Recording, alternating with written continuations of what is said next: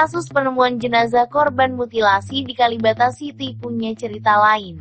Ternyata uang milik Rinaldi Harley Wismanu 32 sebesar 97 rupiah dikeruk dua pelaku. Uang itu digunakan untuk foya-foya. Pelaku perempuan Laili Atik Supriyatin 27 sudah berkenalan lama dengan Rinaldi via Tinder hingga tahu nomor PIN ATM korban. Menurut Kapolda Metro Jaya Irjen Nana Sujana dalam jumpa pers di Mapolda Metro. Kamis, 17 per 9, pasangan kekasih itu, Laili dan Jumadil Al-Fajri 26 membunuh korban untuk mengambil hartanya. Mereka telah menggunakan uang korban sebesar 97 juta rupiah untuk membeli emas dan sebagainya. Polisi berhasil melacak pelaku berdasarkan aliran rekening uang korban. Hingga akhirnya Jumadil dan Laili ditangkap di daerah Cimanggis, Depok, Jawa Barat 16 per 9. Jumadil sempat melawan petugas saat ditangkap polisi pun menembaknya. Alat bukti mutilasi masih dicari.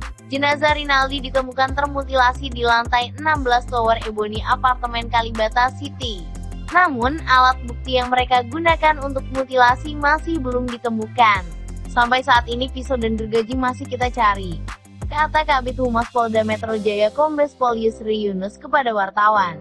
Pembunuhan dan mutilasi yang dilakukan tersangka Jumadil Al-Fajri dan Laili Atik Supriyatin dilakukan di apartemen Pasar Baru Mansion pada 9 September. Keduanya membeli peralatan itu setelah pembunuhan terjadi. Keterangan tersangka setelah pembunuhan membawa korban ke apartemen Kalibata pisau dan gergaji itu dibuang ke tong sampah di apartemen mansion. Ini masih kita cari barang bukti alat yang dipakai untuk memutilasi korban, kata Yusri. Rinaldi sebelumnya dikabarkan hilang ke Polda Metro Jaya pada 12 September 2020.